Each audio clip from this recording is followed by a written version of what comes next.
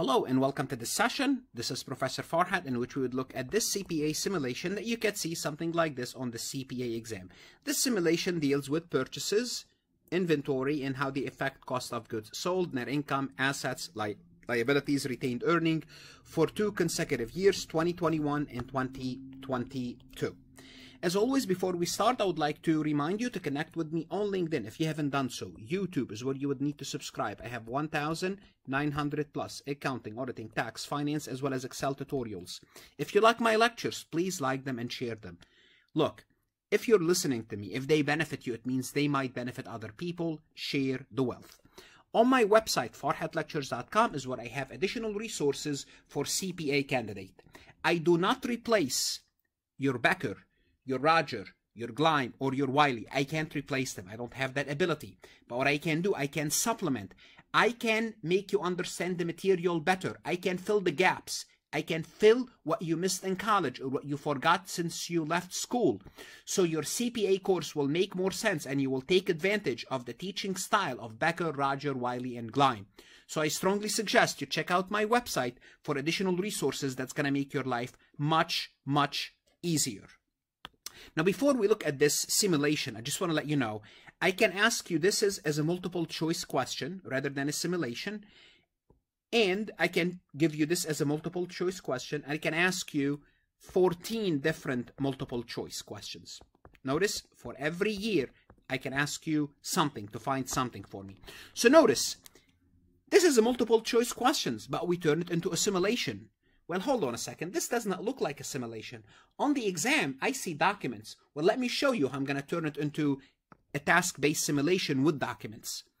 An examination of the records of Adam Company revealed that goods costing 1000 were received on December 31st, 2021. Rather than giving you the statement, I can give you a receiving report showing you that we received $1,000 worth of goods. How about that? Same thing.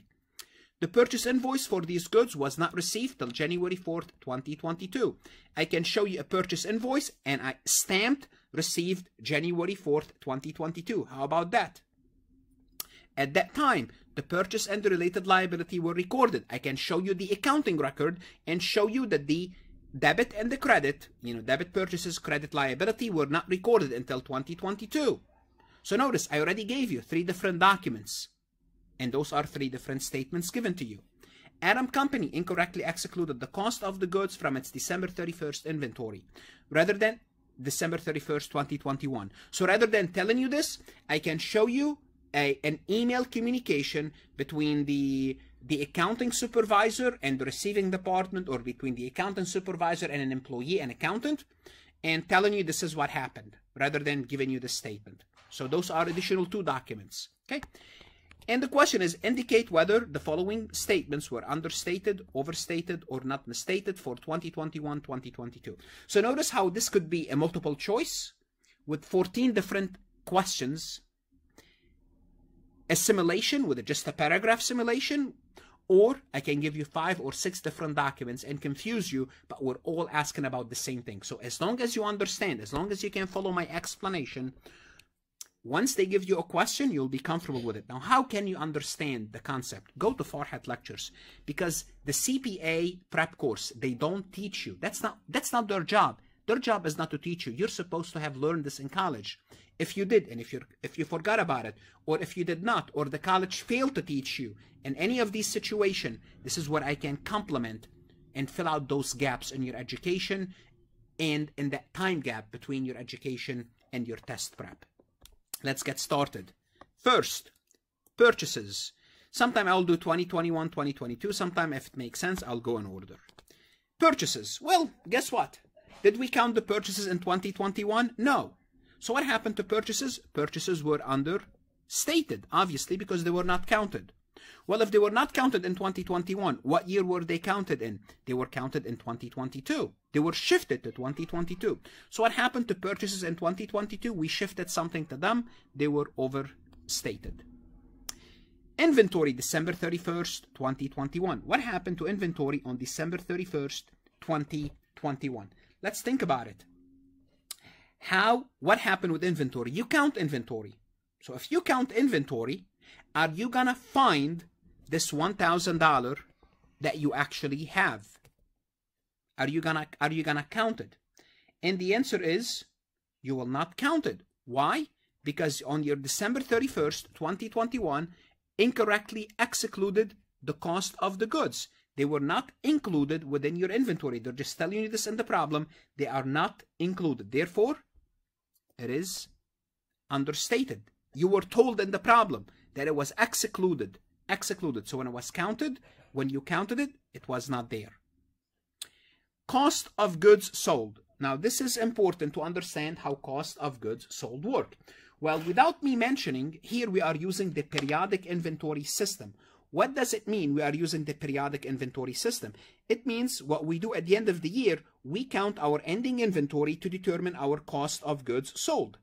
And there is a particular formula that we will use in order to count ending uh, cost of goods sold. And what's that formula? You need to be familiar with this formula.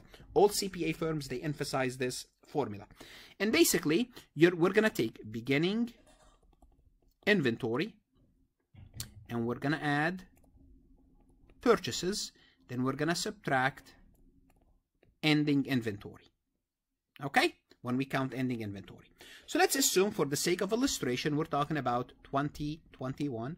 For the sake of illustration, our beginning inventory was 100,000.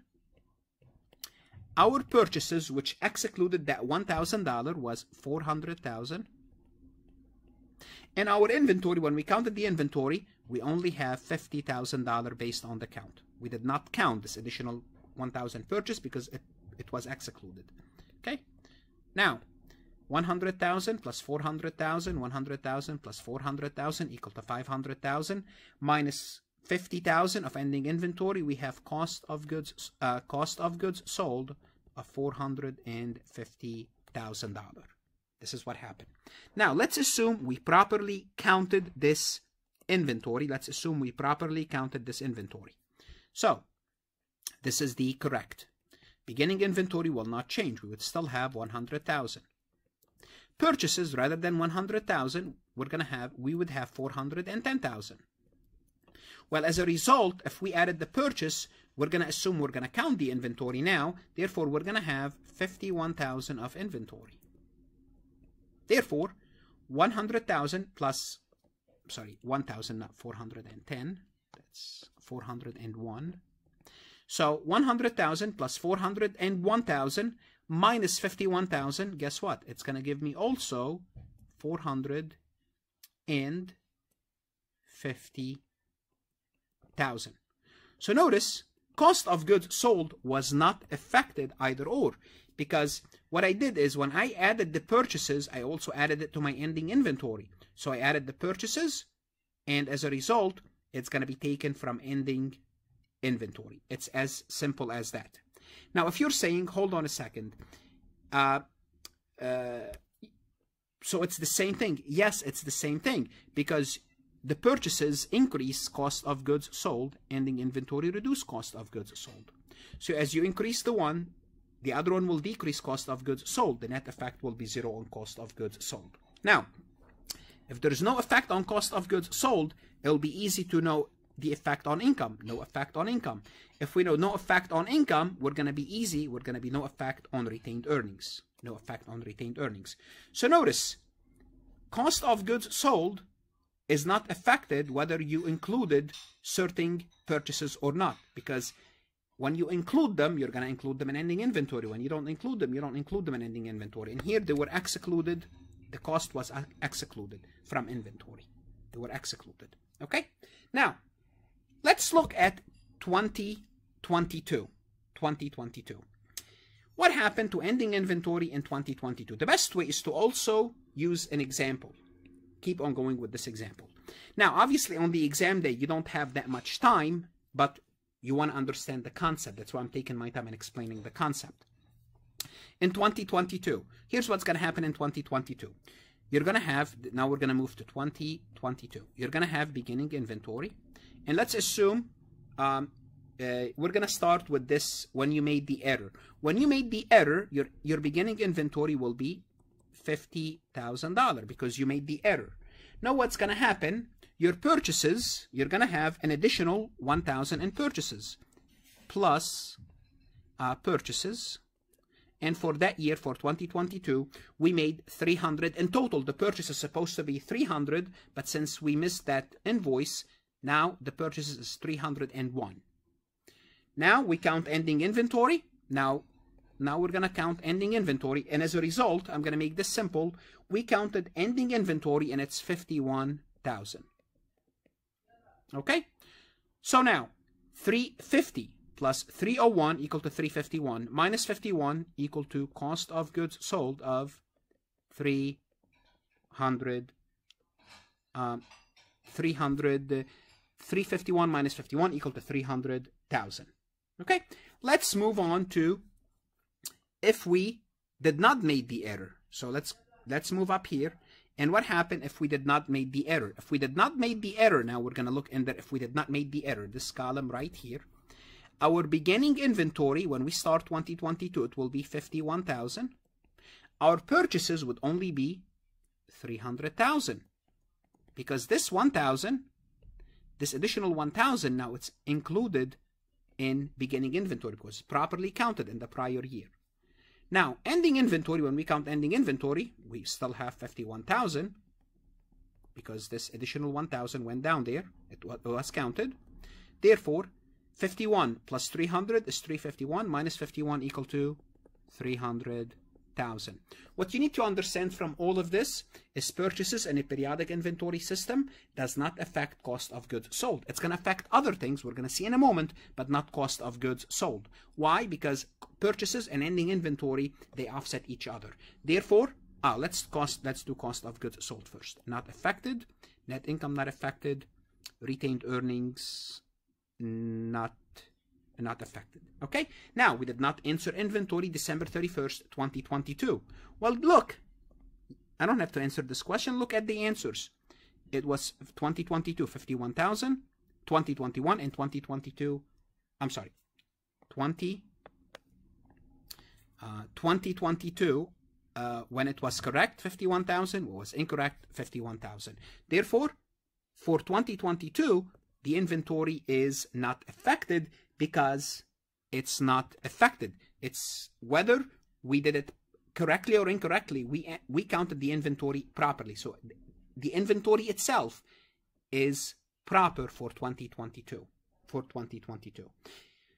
Now, let's look at assets. Let's look at assets. What happened to our assets in 2021? Well, I should have did this when I did inventory. If inventory is underreported, as inventory is an asset. Asset is underreported, right?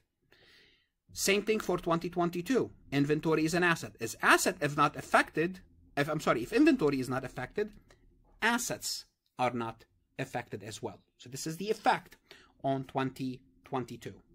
Let's look at liabilities. What happened to liabilities what happened to liabilities? Where for 2021, we had a liability. We had a legitimate liability, but it was not reported. Therefore, it's underreported. What happened to 2022? In 2022, we account for all the liabilities. So what happened? Whatever was not accounted in 2021, it moved to 2022 and basically was counted properly because remember liabilities they are continuous they you know they're permanent account in a sense that it, if, if it was not counted it will be counted in 2022, then paid, then it's gone. So not affected for 2022. So notice in all of this, and all of this, if you notice, and that's a, you know, the only thing that was, that, that affected 2022 is purchases. That's all what you need to know. It was overreported. The other accounts, they were not affected. The other accounts were not affected. Something it's you want to memorize maybe or you, you want to understand 2021, once you understand 2021, you will understand 2022.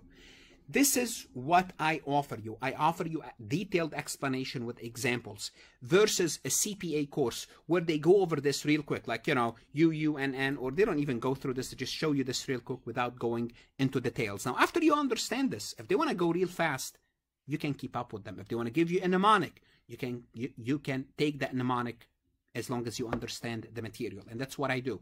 So again, I'm going to invite you to visit farhatlectures.com for additional resources for your CPA exam or intermediate accounting or whatever whether other whether you are taking any other accounting course CPA exam is very important for your career. It's extremely important. It's a couple years worth of investment and money and time that's going to pay dividend for two to three decades. It's going to determine where you live, what car you drive, who's your partner, and many other factors. So take it seriously. It's only temporary. The pain is temporary, but the gain is permanent. Good luck and study hard.